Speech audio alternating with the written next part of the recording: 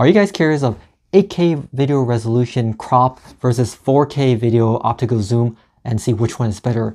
If so, please stay tuned.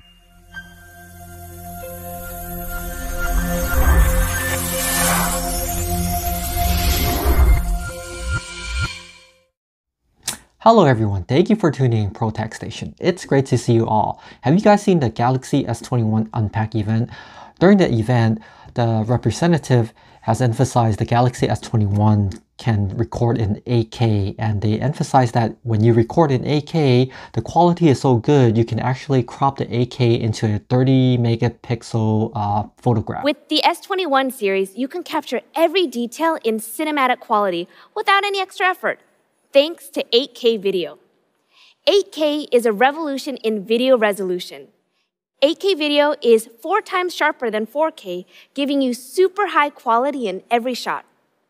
These videos are so sharp, you no longer have to choose between taking a photo or a video anymore. With 8K Video Snap, you can pull photos from your videos at 33 megapixels, so your screen caps will look like portraits.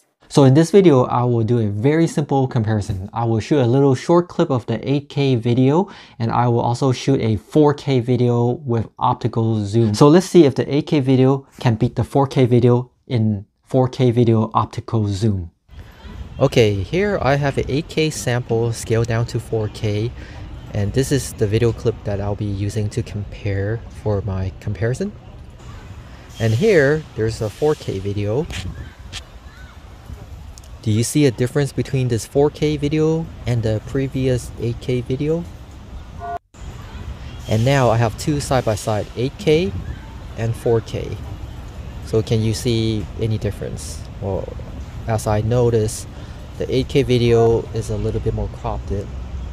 And this is a 4K with optical zoom and on the left, 8K with digital zoom.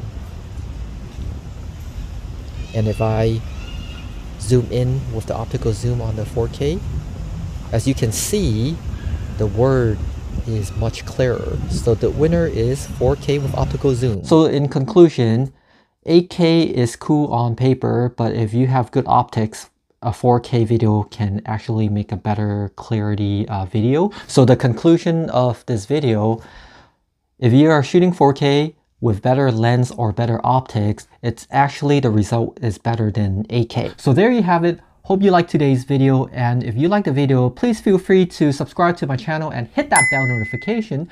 That way, when I have new videos, you'll be notified. You may also feel free to share this video to families and friends, which I am very greatly appreciate. You may also follow me on Facebook and Instagram. Links will be on the bottom of the description.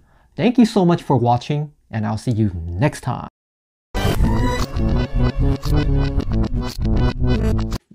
So in this video, I will do a very simple comparison. So I will shoot in 8K and I will also shoot in 4K. So in this video, I will do a very simple comparison. I will first shoot in 8K and then I will let you so in this video, I will do a very simple comparison. I will shoot a sample of an 8K video clip and also I would shoot a sample of a 4K video clip. And